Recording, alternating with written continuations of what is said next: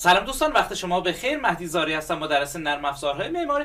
تو این ویدیو می‌خوام به شما آموزش بدم چجور امکانات رویت رو در محیط SketchUp شبیه سازی کنیم. یعنی چی؟ یعنی زمانی که داریم نقشه رو ترسیم می‌کنیم همزمان سه بعد پروژه رو ببینیم. خب plugin ی داریم به اسم plugin Dibac که این قابلیت رو به ما میده و خیلی سریع می‌تونیم نقشه را تبدیل کنیم به یک حجم سه بعدی و هر مهندس معماری نیاز داره این plugin رو یاد بگیره. پس برای این کار شما کافیه از ابزار wall استفاده کنید و خیلی سریع شروع کنید و دیوار پروژهتون رو ترسیم کنید یکی از مزیت های plugin Dibac این هست که شما همزمان علاوه بر اینکه می‌تونید دیوار ترسیم کنید می‌تونید در پنجره پله و سایر موارد با تک کلیک مشخص کنید. خب من دیوار رو ترسیم کردم.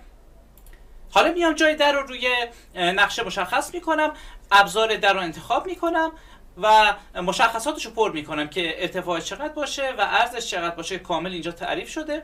اوکی می‌زنم.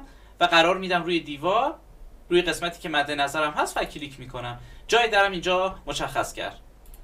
حالا یه دونه میز نهارخوری هم داخل صحنمون قرار میدیم. فرض مثلا یک میز نهارخوری اینجا می‌ذاریم. حالا می‌خوایم اینو به صورت سبودی مشاهده کنیم. بدون اینکه نیاز باشه اکسترود کنیم. کافیه نقشه اصلی رو hide کنیم. کل مشخصات رو انتخاب کنید کلیک راست بزنید تبدیلش کنید به group و از داخل تنظیمات plugin روی این گزینه کلیک می‌کنیم. convert 2D to 3D کلیک که می‌کنیم به صورت سه بعدی به ما نمایش میده. تمام این مراحل با چند کلیک خیلی ساده. دوباره کلیک می‌کنیم برمیگرده به حالت قبل. باز کلیک می‌کنیم دوباره برمیگرده به حالت سه بعدی به این نکته توجه کنید. SketchUp به واسطه plugin هایی که داره خیلی راحت می‌تونه امکانات سایر نرم افزارها رو داخل خود شبیه سازی کنه.